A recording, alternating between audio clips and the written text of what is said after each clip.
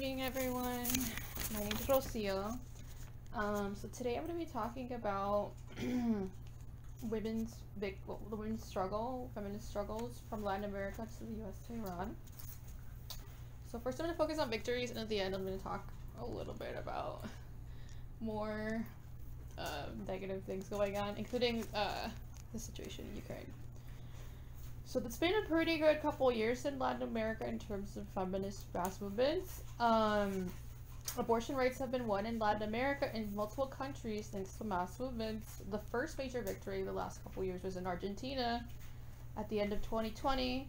Uh, Argentina voted to legalize abortion then. And what led up to this was over a million women and allies marching in the streets to demand this change over. Uh, those protests happened over several years. Then more recently, uh, last year, Mexico Supreme Court, quite opposite to ours, ruled that banning abortion is unconstitutional last year in 2021. And in the last three years, eight Mexican states have legalized abortion.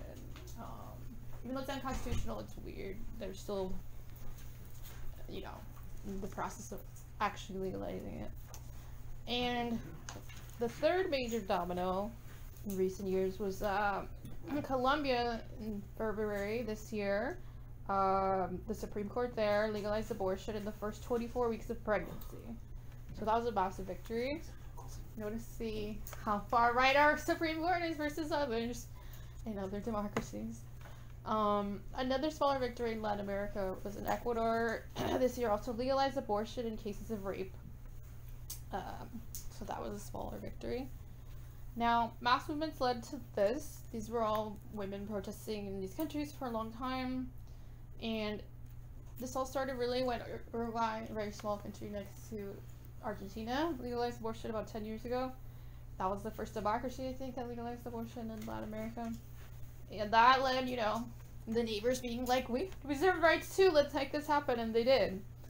So, yeah. And inspired by this victory, um, it's been promising to see here in the U.S. this year. Um, the reproductive rights movement has adopted the green bandana, which came from Latin America to signify you support abortion and abortion rights. Now, we have seen our defeats, obviously, with the overturning of Roe versus Wade in the U.S. this year, but also we've seen a massive upright, like a massive wave of um, activism. And we've had some very promising victories this year. Um, starting with conservative Kansas, which voted for Trump two elections, voted in August in an off election um, to keep abortion legal in that state. This November, Californians voted to enshrine reproductive rights in our state constitution, as the voters in Vermont. Now, that's not super surprising, but in Michigan, a swing state, voters passed Proposition 3 guaranteeing abortion rights in their state constitution. And they also elected, you know, statewide uh, governor and others who would, you know, keep reproductive rights intact. Um, this is really important in Michigan because it prevented an, an, an anti-abortion law from the 1930s from taking effect. Another important, two other important electoral things that happened in November were, unfortunately, abortion is illegal in Kentucky, but Voters there defeated a an anti-choice measure that would have said that Kentucky's constitution doesn't guarantee abortion rights, so they quite opened a window for themselves there. And in Montana, which is very, very conservative, there was an anti-choice measure that was not even explicitly about abortion. It was actually much worse in some ways. Uh, this measure would have, it was defeated, this measure would have forced doctors to give unnecessary medical care to babies who are born non-viable. That means they're, they're going to die soon after they are born and lovely legislators there thought, oh, it'd be great if we forced doctors to give unnecessary medical procedures to um, suffering babies. Um, but yeah, I just went to show the particularly cruel practice, which shows that the anti-choice anti-choice agenda extends far beyond just you know concern about abortion. One other thing I want to note was that in the one Senate flip that happened for this year in the U.S., Women put Democrat John Fetterman over the top in Pennsylvania. As I mentioned, it was the only seat that Democrats flipped in the Senate this year, putting them into a 51 seat majority. Now, 57% of women voted for Fetterman, which is 14 points more than the male vote for Fetterman.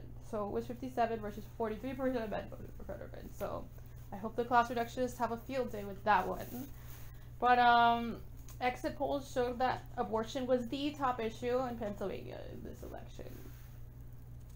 So I want to move on to um, talking a little bit about Iran. Um, Iran has seen three months of nonstop protests led by women, which are massively threatening the regime.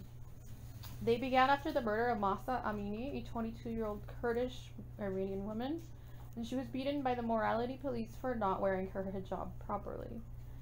The protests spread to every corner of Iran. Um, they began as protests against forced veiling, but they've grown to demand the overthrow of the regime much more. Remarkably, the protests have forced the Iranian regime to announce they will disband the morality police. Allegedly. I mean, Iran's police say will continue to like oppress people and women, but they're talking about you know maybe re- repealing the veiling law, but it's still nonetheless a very significant concession. The protests continue as the protesters want an end to the re- terrible regime they live under. It's not just about the veil. One of the more colorful chants has been heard at these protests is "Our hijab will be the noose around your neck." And as for how extensive these protests are, Khamenei arrested his own niece for supporting these protests since her three years in prison. At least 450 protesters have been killed and over 18,000 have been arrested. That just goes to show how massive these protests are. They're even arresting 1% of the protesters. This is enormous. Um, and sadly, they executed their first uh, protester that was involved in this, allegedly involved in some violence, but the first protester was executed. And the slogan of these protests is Women, Life, Freedom, and there's a couple of these billboards that say this around LA from the Iranian community. So that's very inspiring to see. This can happen in Iran, you should be very hopeful everywhere. Now I'm to talk a little bit about and shift to what's happening in Ukraine. Gonna be, this is not going to be, obviously it's sad what's going on there, uh, but I thought it'd be important to talk about. Um, I just wanted to note this aspect of the Ukrainian war that it's an explicitly anti-feminist war. Um, it's explicitly the invasion of Ukraine is explicitly anti-feminist, homophobic, and transphobic. In a speech celebrating the annexation of occupied Ukrainian territories, Putin ranted about gay parents, trans people, children being indoctrinated in elementary schools about trans rights, um, the Russian invasion is an explicitly far right project. I'd say it's fascist, although that word is complicated, that seeks to erase queer people. Um, just I wanted to put a quote of what something that Putin said in that speech that this is just like this project is very much anti-feminist and anti-queer. When he was talking about, you know, ranting about the West, this and that, Putin said, now they have moved on entirely to a radical denial of moral norms, religion, and family. This is a complete denial of humanity. Sorry, there's like a pause between but there is a complete denial of humanity, the overthrow of faith and traditional values, indeed the suppression of freedom itself has taken on the features of religion, outright Satanism. So that's what Putin was saying in his speech about the Ukraine invasion, how he was doing this to protect the family, how you know, trans people were literally Satanism. This was you saying that the West is oppressing everyone with, you know, all this feminist, queer business. So that's just something that I was really important to talk about. That Don't know if any, there's still some, there's still a few like, unfortunately, sympathizers with or apologists for what Russia's doing, Russia's imperialism. But I just want to note that it, you know, all wars are patri- most wars are patriarchal, but this is a very explicit like Putin is saying we're doing this because to take down women and gay people. And Ukrainian feminists have said that the Russian occupation not only does it use like war, uh, rape as a weapon of war, that they see Russia trying to decriminalize domestic violence, which I think they did in Russia a couple years ago, sort of so they're trying to do that in occupied Ukraine.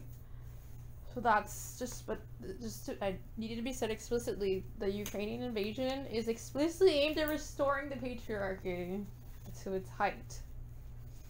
Now, in conclusion, while there are great setbacks going on, like the war in Ukraine, Assad continuing to hold Syria, Taliban's retaking Afghanistan and oppressing women, and the overturn of Roe versus Wade because of our far-right Supreme Court, as I hope to show you today, this is happening at the same time as same time as significant progress like the legalization of abortion in Latin America, which has had amongst the most restriction restrictive abortion laws in the whole world. And like I mentioned, electoral victories on reproductive rights from Kansas, Kentucky, uh, show us that the fight for women's rights is everywhere, is on everywhere, and victories can be achieved even in places where the fight hasn't been looking great until now. And one last thing I want to note, um, one about the recent Georgia runoff. One third of the ads supporting the pro-choice pastor, Senator Raphael Warnock, mentioned abortion. One third of the ads, and he won in a like 50-50 swing state. So this is important to know. Um, and also his opponent was a horrific misogynist who tried to kill his ex-wife. Okay, so like, this is important to know that these little victories are happening. So if these victories are possible in these places like Kansas, Kentucky, and Georgia, um, then we should be hopeful that with enough organizing, we can win everywhere. Thank you.